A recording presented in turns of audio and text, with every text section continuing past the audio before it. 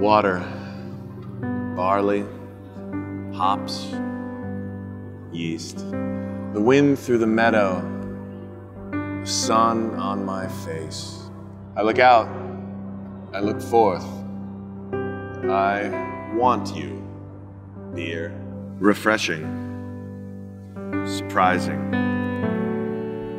crisp, smooth, bubbly. You make me drunk. You make me smile. Flourish, beer. Sing the song of beer. Here, here. I love you, beer.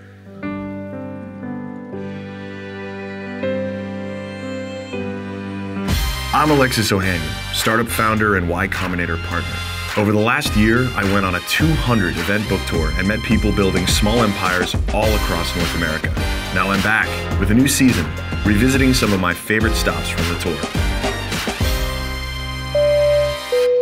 Running a brewery is hard work, and at small scales, the margins can be pretty low. But if the beer is good, as the size of the brewery increases, efficiencies in the processes and technologies at play allow for larger margins, and, due to automation, a more consistent quality of product than at a smaller space. The problem is, not everybody who's great at brewing beer is great at running a brewery, or even wants to. And that keeps great beer out of your stomach. So, some well equipped breweries, like Two Roads, allow contract brewers or gypsy brewers to program their beer into the system. Two Roads is kind of like a platform where you can code beer. That way, gypsy brewers can get their beer out to the public without having to take on the capital investment required to open a whole brewery. Cheers.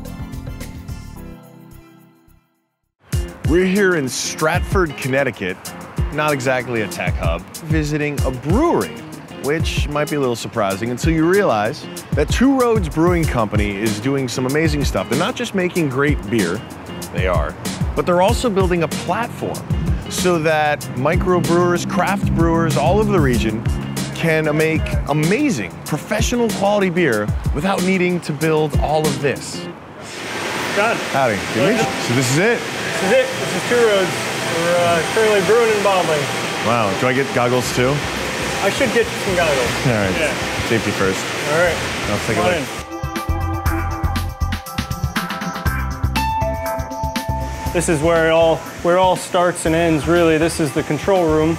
Everything you see here uh, controls or accesses everything you see out there. So hundreds of temperature sensors, pressure sensors, flow switches, pumps.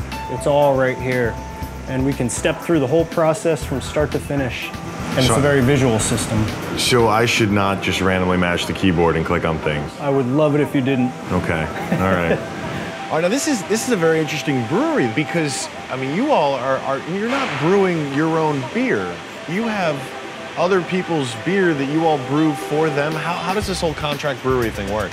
Well, let me explain. Uh, first and foremost, we do brew our own beer, and that's that is absolutely our, our focus here at Two Roads, our own brands. Uh, we launched our brands and opened the brewery in, in December of 2012. Uh, started with our brands, and then as we got to know the equipment and got the bugs worked out, we, we brought on um, brewing partners or contract partners whose beer we produce for them under license here at Two Roads. This is my 25th year in craft brewing, and uh, through a good part of my career, I was on the other side of that equation where I was out brewing uh, our beers at other facilities. All right. Now how much of this is being controlled by robots right now? This particular process. This whole process is controlled from the computer. Yeah. See? We can trust them to make our beer. Here we actually have a beer in process. How you doing there, beer? I can't even describe it. It's like a whirlpool of beer, of hot beer. I think the best way to describe Two Roads Brewery is as the next generation of craft brewing. Um, rather than starting off really small, we, we're starting off fairly big for a craft brewery, and, and the way that we get to do this is by brewing other people's brands as well as our own. And this gives us the luxury of starting off really fairly small and allowing our own brand to grow organically, kind of outwardly from Connecticut and, and outward. Interesting. And why don't more breweries use this method? I think most breweries have taken the, the kind of the most obvious path of, you know, we're going to start off small with equipment that we can afford, and then have a, a, good level of success and then kind of make the next step to the next level and then and you know steps as they go. Whereas we're, we're kind of the, the new guy in craft brewing. We, we can start big because we know that the demand is there and we'll, we'll eventually fill that capacity. Okay, so this is this is where it really spends most most of its time. It's the wort gets down to this stage, we cool it down to make it the ideal temperature for the yeast and fermentation because yeast is a living thing. Um, different yeasts create different flavors at different temperatures and they're all controlled again through the computer. So we can do specific temperature curves on the so, fermentation. So if you needed to make uh, precise adjustments or whatever, that's all happening from that main room we are in, just yes. at the computer. Yes. And it just happens. And we taste, of course, every day as well, just to make sure everything is good. Tough, tough part of the job. Very tough Gotta job. keep tasting beer. Yeah, yeah. The folks over at Two Roads have a pretty awesome brewery, and they brew a pretty awesome beer. But we're here in exotic Williamsburg, Brooklyn, in order to meet with an actual gypsy brewer. His name is Jeppe, and he's known for brewing beers that were inspired by things like baby poop. And we're gonna find out what his experience has been like with Two Roads. I am originally from Denmark, uh, moved to Brooklyn two and a half years ago. Um, I own Evil Twin Brewing, and I'm the brewer. Um, and Evil Twin Brewing is not a physical brewery, it's a so-called they call it a gypsy brewery or contract brewery. So I rent space from, from other breweries. So what does being a gypsy brewer versus a traditional brewer mean for the kind of like freedom and creativity you might have?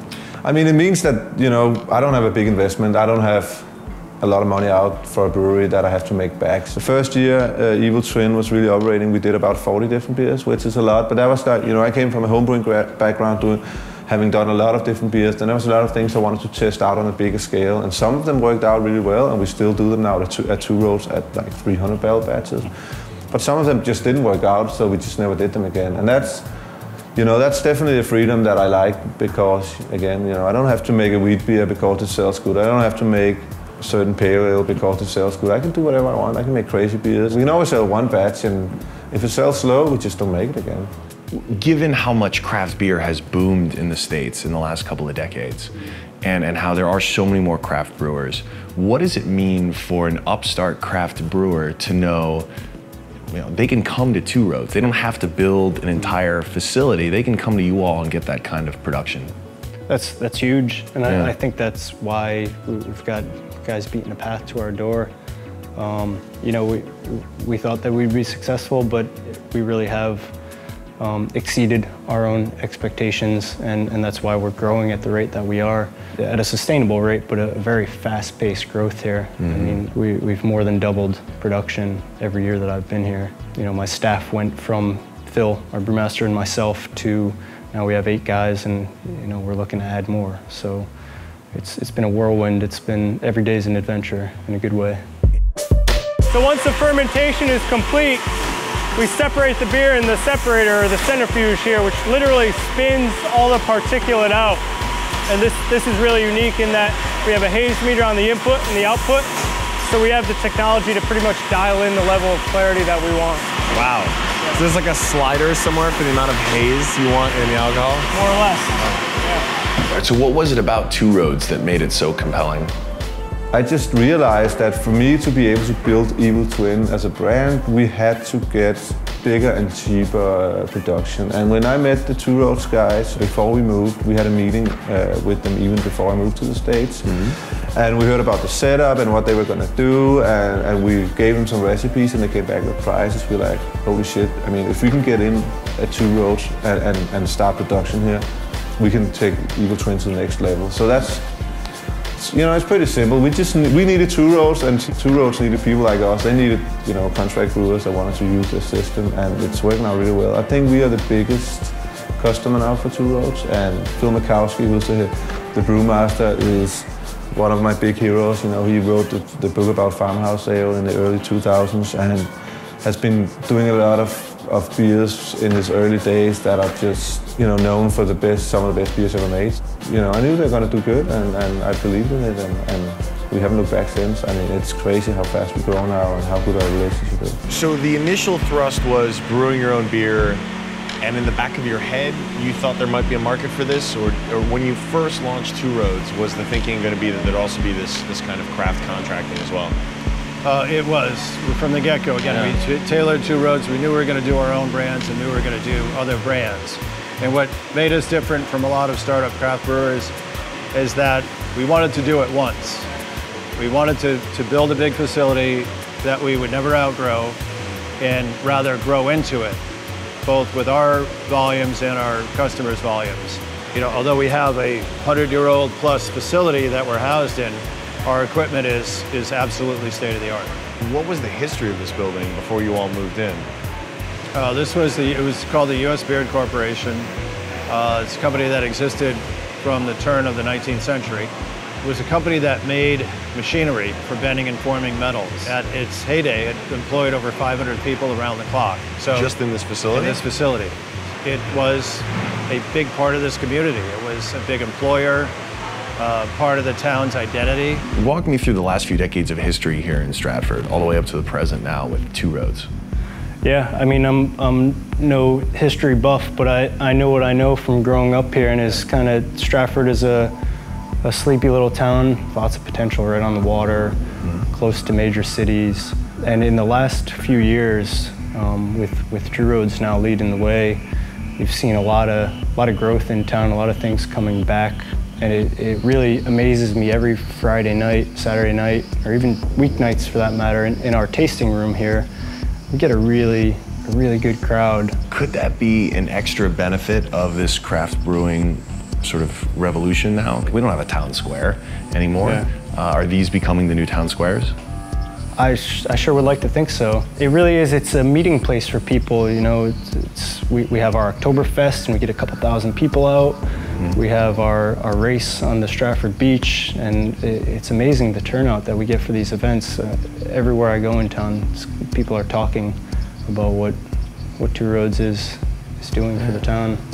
What What does it mean to you to have this company based here in Stratford? Uh, well, it means a lot. Uh, three of the four founding partners here at Two Roads were, were from Connecticut. This is our home state. You know, from my childhood, I grew up in a, a, a town that was an industrial factory town, and it's no longer what it was when I was growing up. So, you know, being able to bring back some of the industrial glory that you know once was Connecticut, still is Connecticut, um, was was very important to us. So to be back here, our home state, brewing beer is is a dream come true for me. So I'm in a very special part of the Two Roads Brewery right now. This is the Vault, and I'm surrounded by delicious limited run beer, which is brewed once a year just to honor Igor Sikorsky. Now, his helicopter factory used to be the economic engine of Stratford, Connecticut. And although Two Roads isn't necessarily going to employ as many people as Sikorsky's factory once did, what it is doing, aside from creating jobs in a community hub here, is it's providing a way for brewers all over the region to get started without needing to build a brewery. All right, so when you were choosing, or when you chose Two Roads, obviously the price was good, and presumably the beer was good too. Yeah, I mean that's you know we, you never know that before you actually get the final product. But again, Phil Markowski has a very good name in the brewing world, so I knew that you know the brewer was good. Um, I knew the system; it's a Rolec German system, which is like the highest end system you can get, and we do 14 different styles now up there, and they are all as good as they can be. You know, if they're not good enough, it's my fault that my recipe is not good enough.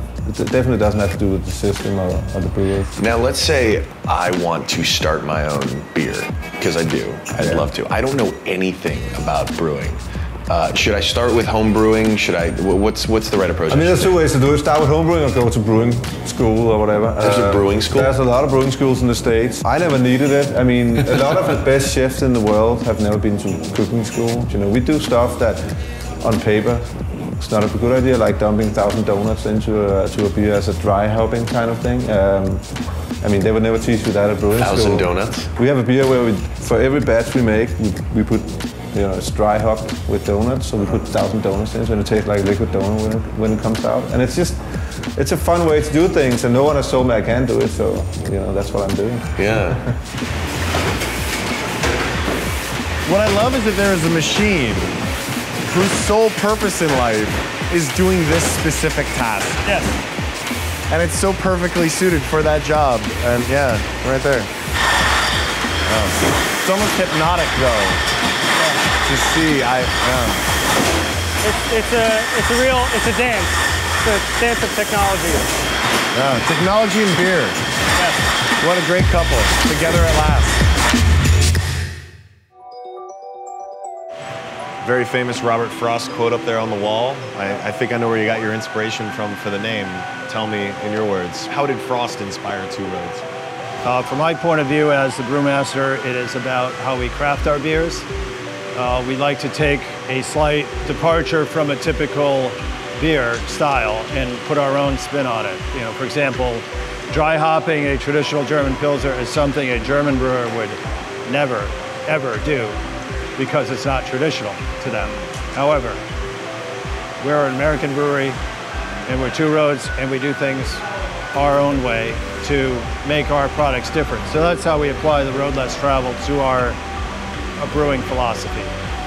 Every, every beer I make, I make for myself. And again, being a gypsy brewer, I have the freedom to do that. If I want to taste something in a beer and it's not made, I have to make it myself. You know, and that's just, that's my approach to it, and that's why I keep doing it. You know, that's why I can't stop. I get new ideas all the time, and I'm like, hey, we need to make this. You know. Would this success have been possible if you needed to like start your own brewery from scratch?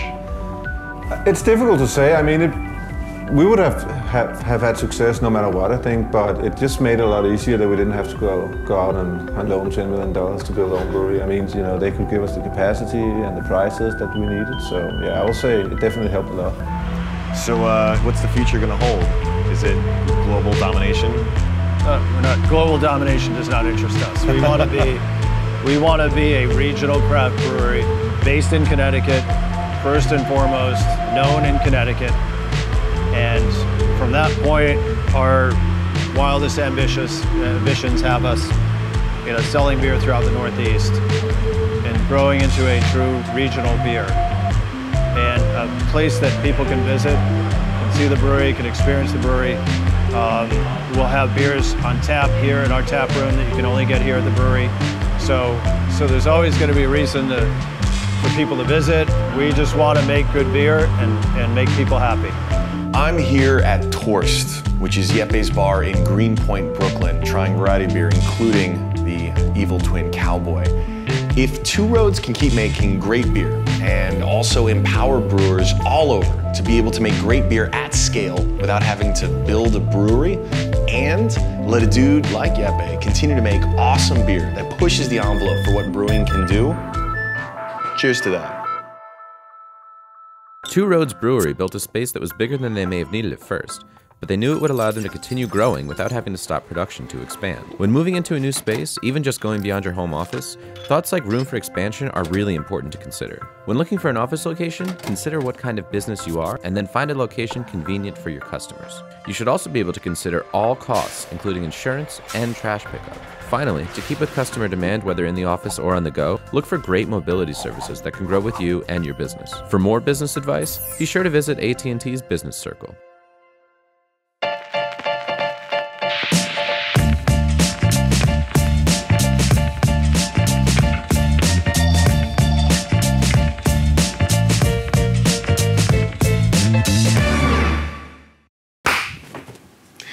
Just want to take a second to say hi, editors. You're doing a great job.